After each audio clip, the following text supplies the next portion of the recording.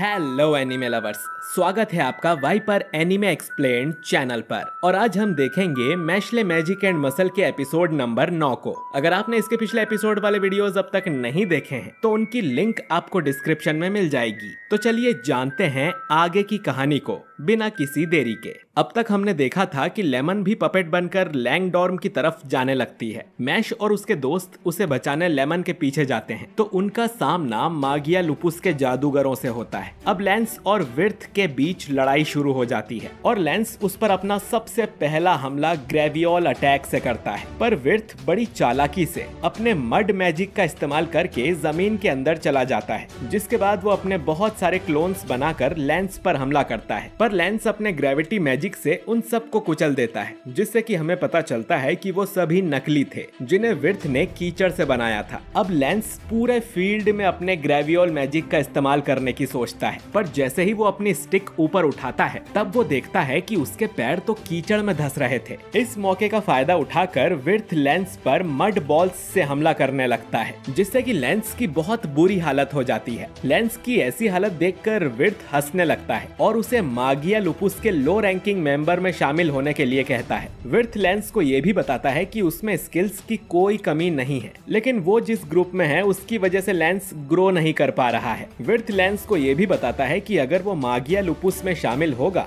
तो वो और भी ज़्यादा पावरफुल बन जाएगा। लेकिन अगर वो एल्डर डॉर्म में रहा तो वो हमेशा कमज़ोर ही रहेगा। विर्थ की बातें सुनकर लेंस बहुत गुस्सा होता है और वो उसे जवाब देता है कि कोई भी मैजिशियन अपने एनवायरमेंट की वजह से पावरफुल नहीं होता, बल्कि अपनी स्किल्स की वजह से पावरफुल होता है। और उसकी नज़र में विर्थ सिर्फ़ एक सेकेंड रेट है। इसके बाद लेंस फिर से विर्थ पर अपने ग्रेवियोल मैजिक से हमला करता है। लेकिन विर्थ फिर से मर्ड मैजिक का इस्तेमाल करके बच जाता है। पर लेंस भी बहुत ज़्यादा चालाक था और वो कई सारे स्टोन्स विर्थ की तरफ़ फेंकने लगता है, जिससे कि उसे बहुत ज़्यादा चोट आ जाती है। और विर्थ समझ जाता है कि लेंस एक तगड़ा ओपोनेंट है। विर्थ अपनी पॉकेट से एक लिक्विड सोल्यूशन बाहर निकालता है और लेंस को बताता है कि यह दूसरे स्टूडेंट से एक्सट्रैक्ट किया गया है, जिसके बाद वो उस सोल्यूशन को पी जाता है और उसकी पावर लेवल्स इनहेंस हो जाती हैं। तभी उसके पीछे मड से बना हुआ एक बहुत बड़ा मॉन्स्टर आ जाता है जिसे विर्थ कंट्रोल कर रहा था। वो लेंस को बताता है कि यह सेकेंड मडोरो मैजिक है और इसका इस्तेमाल बहुत ही कम डबल लाइनर्स वाले जादूगर ही कर पाते हैं। तभी विर्थ अपने पास्ट को याद करने लगता है कि कैसे बचपन से उसे सिखाया गया था कि मैजिक ही सब कुछ है और इस दुनिया में सिर्फ़ पावरफुल मैजिशियंस ही रह सकते हैं। इसीलिए उसने अपनी पूरी ज़िंदगी खुद को इम्प्रूव करने में लगा दी। अब विर्थ उस मड मॉन्स्टर को लेंस पर अटैक करने के लिए कहता है, लेकिन लेंस उसके अटैक को डॉज करता है। लेंस विर्थ से कहता है की, मेरे दोस्त भले ही किसी काम के नहीं, लेकिन उनकी इंसल्ट करने का हक सिर्फ़ मेरा है। और ऐसा कहकर वो बड़े ही गुस्से में अपने Gravole second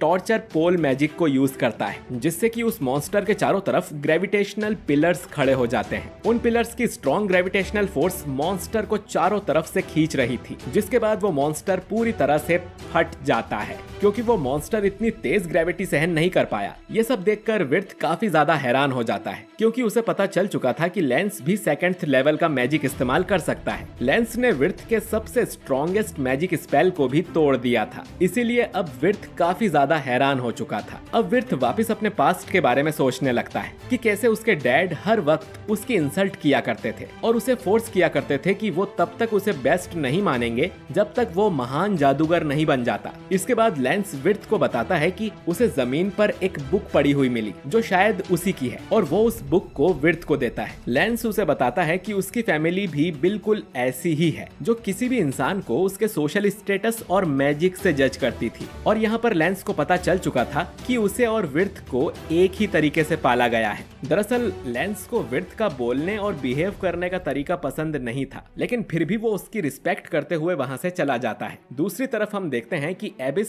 और मैशले के बीच लड़ाई शुरू हो जाती है, जहाँ पर मैशले बड़ी तेज़ी से एबिस को पंच करता है। लेकिन एबिस भी कुछ कम नहीं था और वो भी काफ़ी ज़्यादा स्पीड से मैशले को वापस मारता है, जिससे कि मैशले बुरी तरह से घायल हो चुका था। एबिस मैशले को बताता है कि वो उसके सामने नहीं टिक पाएगा, लेकिन मैश इस बात को सीरियसली नहीं लेता और आगे फाइट करने लगता है। मैशले की हिम्मत देखकर एबिस बहुत ज़्यादा सरप्राइज़ हो जाता है और कहने लगता है कि मैशले अपनी फैमिली के साथ पीसफुली रहना चाहता है, इसीलिए वो कोई भी खतरा उठा सकता है, लेकिन वो बिल्कुल भी लकी नहीं होना चाहिए था। एबिस अब मैशले को एक डिवाइस डिवाइस दिखाता है, जिसके अंदर लेमन कैद थी। और वो मैशले को बताता है कि इस डिवाइस के अंदर लेमन की सारी पावर्स एब्जॉर्ब हो रही हैं और आने वाले 30 मिनट में वो पूरी तरह से पावरलेस हो जाएगी और उसके फेस के ऊपर से वो मार्क भी हट जाएगा, जिससे वो एक नॉर्मल ह्यूमन बन जाएगी। मैशले अपने दोस्त को बचाने के लिए एबिस से लड़ने के लिए कहता है, जिसके बाद एबिस के अंदर से बहुत सारे एरोज निकलते हैं और वो उन पर बैठकर मैशले के ऊपर अटैक करने लगता है। एबिस की स्पीड इतनी ज़्यादा थी कि मैशले भी उसे देख नहीं पा रहा था। और तभी एबिस मौके का फ़ायदा उठाकर अपनी तलवार मैशले के पेट में घुसा देता है। जिससे कि मैश पूरी तरह से जख्मी हो जाता है। लेकिन जब वो उस तलवार को बाहर निकालने लगता है तो वो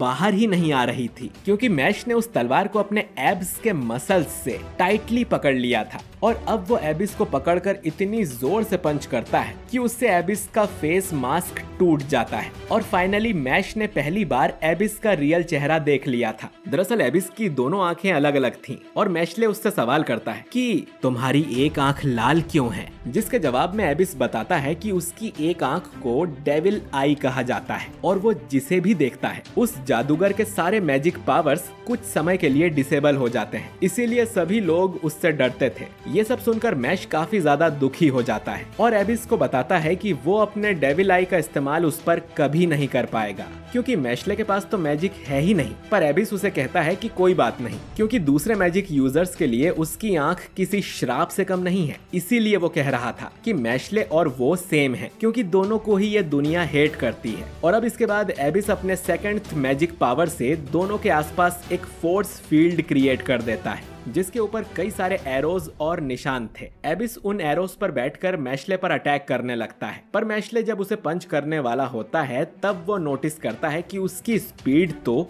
काफ़ी ज़्यादा कम हो चुकी है। जिसके बाद एबिस उसे बताता है कि इस फोर्स फ़ील्ड के अंदर मैशले की सारी स्पीड एबिस को मिल जाएगी, जिससे कि वो और भी ज़्यादा ताकतवर हो जाएगा। इसी के साथ एबिस एक के बाद एक लगातार मैशले के ऊपर अटैक करते जा रहा था। और मैशले भी उन सबको सहन करके बहुत जख्मी हो चुका था, पर मैशले भी कुछ कम नहीं था, और वो ज़मीन पर एक जोरदार पंच मारता है, जिससे कि पूरी ज़मीन टूटने लगती है, और एबिस का बैलेंस बिगड़ जाता है। मैशले को अब मौका मिल चुका था। इसीलिए वो एबिस के ऊपर पंच मार के उसकी तलवार तोड़ देता है। एबिस को समझ आ चुका था कि मैश बहुत ज़्यादा चालाक है। इसीलिए वो वहाँ से भागने की कोशिश करता है। पर मैश उसके पैर पर अपना पैर रख कर उसे वहीं रोक लेता है। और अब मैश अपने सभी मसल्स टाइट करके उसे इतने ज़ोर से पंच करता है कि उससे वो अपनी ही बनाई हुई फोर्स फ़ील्ड तोड़कर बाहर जाकर गिरता है। और अब इसकी वजह से मैशले की स्पीड फिर से नॉर्मल हो जाती है। एबिस को काफ़ी ज़्यादा रिग्रेट फील हो रहा था, क्योंकि वो मैशले से हार चुका था, लेकिन वो लगातार मैशले पर वापस हमला करने लगता है। लेकिन मैशले उसकी अच्छे से धुलाई करता है और आखिर में उसे उठाकर ज़ोर से ज़मीन पर पटक देता है। और फाइनली एबिस ने अपनी हार मान ली थी।